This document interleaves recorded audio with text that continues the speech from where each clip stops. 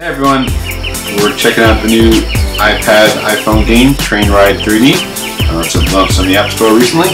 Uh, right now it's running for $3.99. Not too good ratings, it's only got 2 stars, 11 ratings. Uh, we're going to see if this is a good or bad purchase. Um, of course, my son loves train, so we're going to check out. And from the photos, looked okay. We're going to see what's going on. Um, just start off in the app, up here in the top left corner, the little gear turns music or sound on and off. Play button, go back, and we're going to click play. Alright, here we are now in the train. Um, we're going to got a couple buttons here. Got this button here on the top left. Green, or should yellow, go. And then, your other two buttons are these two levers the left side of the screen and the right side of the screen. We're going to go. And you notice here on the right hand side, a little movie button popped up um, once we left the station. Um, you tap that button now, you get the external view of the train. Um, from inside this view, oh, after we go through this tunnel, um, as you notice, you have not many controls here on the screen. You got your, your dials and gauges to make it look like a train inside, but you've only got these two levers on the left and right. Uh, the red one on the right, the black one on the left. To leave that tunnel, the movie button pops up. Here we go to the external view again.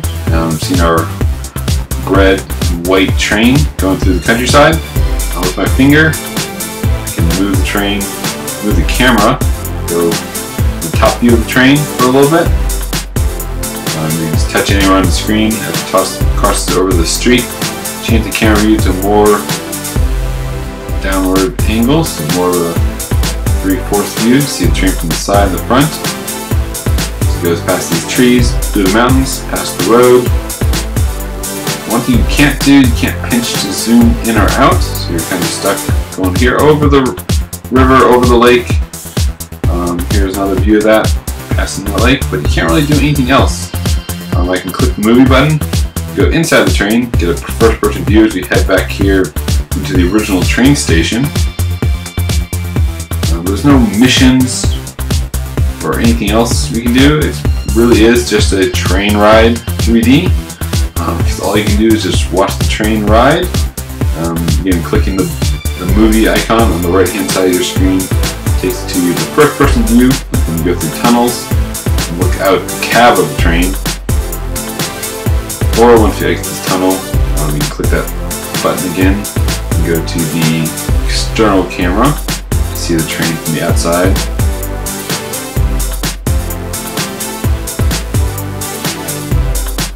Yeah, and that's about it as far as the game goes. There's not really much of a game. It really is just a simulator of the train. Because um, other than changing the camera angles to see different angles of the trees, of houses, um, that's it. There's no other tracks, um, no other buttons, nothing else you can do at all in this game. Click the top left yellow button, go button, just turn off engine. Um, yep, this gray button next to it just reverses the train, so you to see the train go backwards. Here's the train going backwards.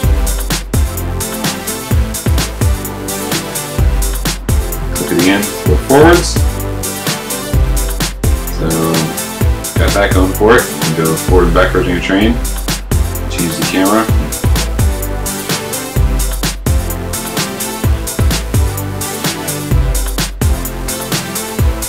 That's Train Ride 3D in a nutshell. I think the reviews are warranted for a $4 game. I was hoping for a little more substance than just a camera and the train ride with a 3D view in and outside as we pull into the station.